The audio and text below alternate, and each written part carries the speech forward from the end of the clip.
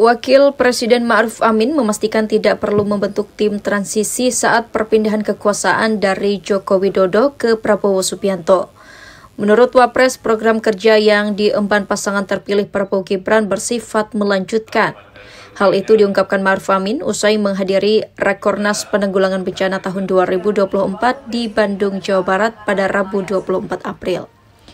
Maruf Amin juga memberikan apresiasi kepada para penggugat dari pasangan calon nomor 1 dan 3 Anies Mohaimin dan Ganjar Mahfud karena menerima hasil keputusan Mahkamah Konstitusi. Ia juga mengapresiasi Presiden terpilih Prabowo Subianto yang diharapkan akan merangkul semua lapisan masyarakat. Saya juga menyampaikan apresiasi kepada Presiden terpilih Pak Prabowo yang akan uh, merangkul semua pihak.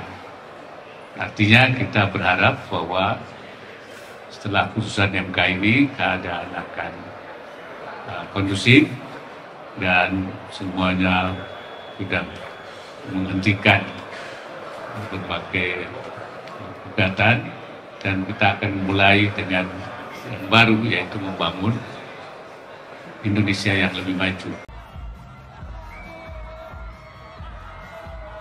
Maruf Amin pun berencana akan menemui Prabowo Gibran yang telah ditetapkan oleh KPU sebagai presiden dan wakil presiden terpilih hasil pemilu 2024.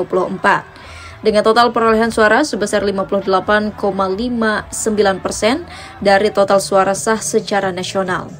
Dari Bandung, Jawa Barat, Dian Hardiana, Kantor Berita Antara mewartakan.